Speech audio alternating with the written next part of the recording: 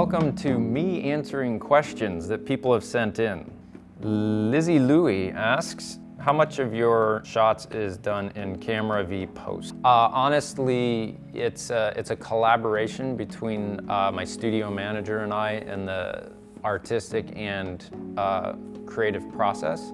There's always going to be kind of uh, a director from the beginning that I kind of play that role, and I do kind of the, in many ways, data capture on site and bring that data back to the studio, and then my studio manager, Tim, goes through it and starts to do the process that he does. He's highly capable in, in Photoshop and Lightroom and all the programs that he needs to be to do that and has an artistic eye to be able to bring those together. And through us working together, we've learned how to achieve what I initially set out and set out as a vision for what I wanted my photography to look like but got to a point of realizing I didn't have the time to uh, do every single image that I shot the justice that it needed for what I wanted to charge. And so I knew at that point I needed to hire someone to do that.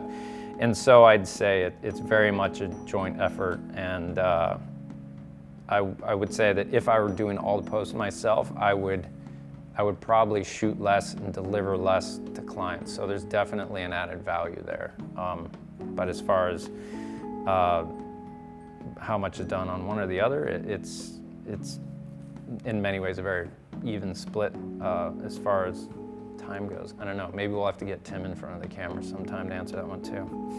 When you were starting out, how did you learn the technical stuff? I failed. uh, lighting, lenses, etc., etc. Uh, honestly, um, when I started out, I was working as an architect and then quit doing that and thought, well, I'll buy and flip foreclosures and did one of those and took the money I made and bought everything I'd need to be a commercial photographer. And I couldn't figure out how to put a lens on for the first time. But I think we had our first cover of a magazine within three months of that. So the technical hurdle especially now with YouTube and everything else, is just not that high. The power behind your photography is going to be the emotions that you can convey through it. There's, I, I bought a bunch of books at the time and just read a bunch of stuff. Uh, I had a friend that was a commercial photographer out in California, and I went and spent some time with him. His name is Chet Williams. You can see him on Instagram. I think it just at chetwilliams.com. He does incredible uh, healthcare work, and he influenced a lot of what I do and how I do it. Um, I learned a lot from Irvin Serrano. He's a local photographer here in Maine who's incredibly good as well. It was a lot of reading, a lot of interacting with people that knew what they were doing on the technical level as well, and then a lot of uh, putting my, you know, all of my effort forward and failing a lot, but like really internalizing those failures to learn from them and, and not repeat them. How do you set up your gear for an ARC photo shoot? Uh, every, every setup is going to be different depending on the space. So, you know, if you're setting up for a, a living room shot where there's huge windows and there's a lot of light coming in those windows, uh, you're gonna set up your lighting and everything a little differently compared to you know, a half-light basement or something. So uh, it, it's really hard to answer that without walking you through a setting, but in general, we don't use many lights. I don't generally approach my images as lighting a lot of individual things. I prefer a more natural light, softer look. So we use less lights, honestly, and we'll bracket, and then we'll do a bracket layer with strobe. In general, we'll have lights doing that, bouncing off of really large uh, light modifiers generally, and we'll work from an iPad Pro that's wireless and communicating with the camera. And so we work through live view, doing the styling, finding the composition, and then blending everything through there. C underscore Scott 206 asks, is the drone shot or video overplayed?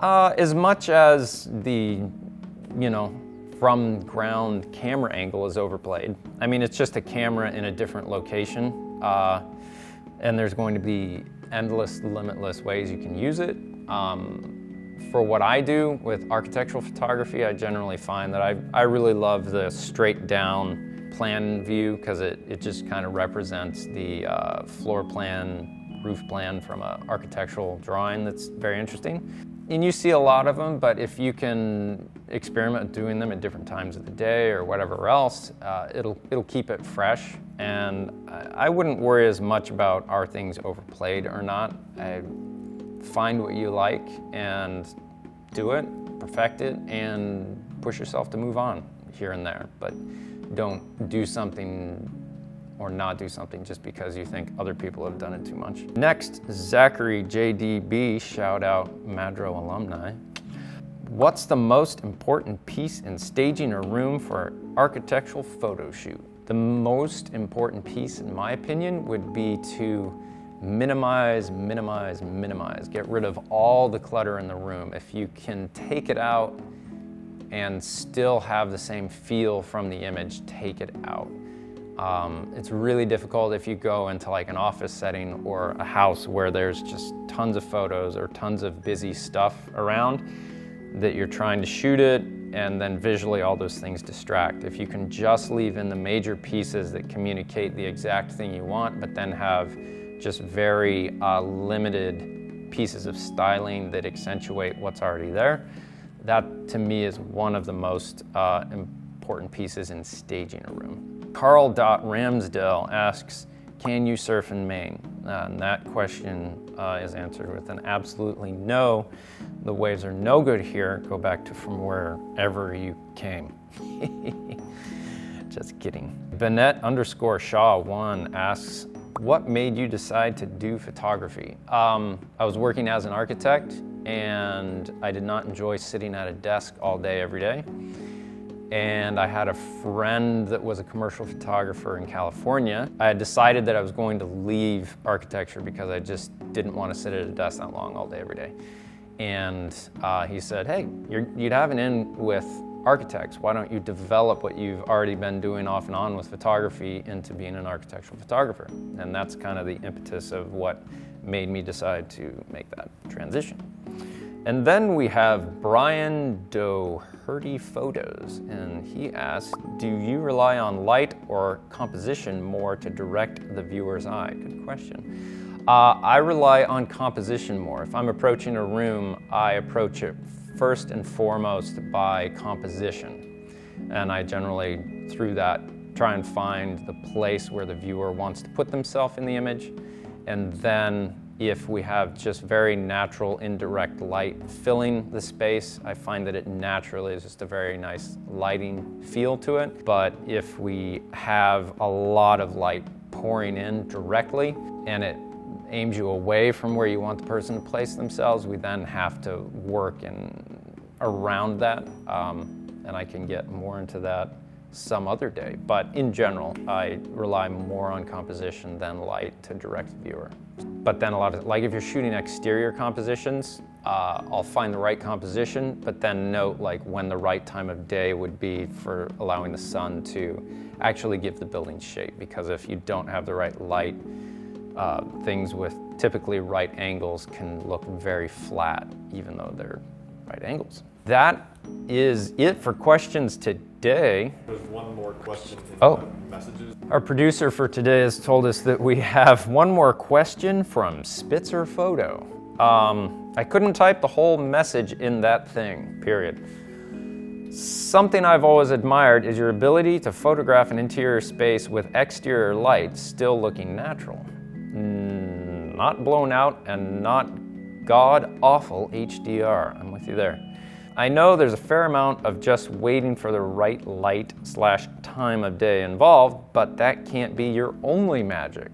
A large part of our magic of how to accomplish that is actually sitting behind the camera right now, and his name is Tim, and he does an amazing job in post-production for me. And whenever I'm approaching a, a place that I want to have naturally lit, I'll generally try and shoot it when the light will not be coming directly into the room so you or hitting any of the window elements so you don't have those extremely high uh, layers of contrast to deal with. I'll try and find as large of light sources or modifiers to bounce uh, light off of to naturally backfill shadows, but not over backfill the shadows. Because if you overlight against the key source of light, you lose the texture and definition and things. So generally, we'll try and find an indirect light that doesn't have too much color cast on it as far as like if you're facing another brick building and that thing's being hit with direct light, you'll get a lot of red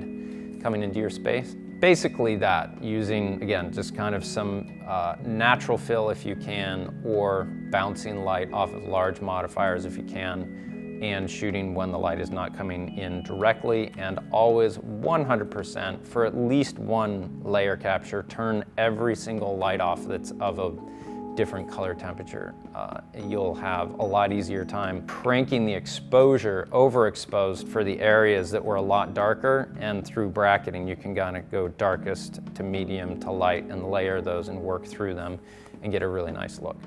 That was a lot of questions, a lot of good questions. If you have any further questions or want further clarification, uh, send us a direct message, text message, email, phone call, whatever, snail mail, and we'll see what we can do about them. Thanks a lot. Later.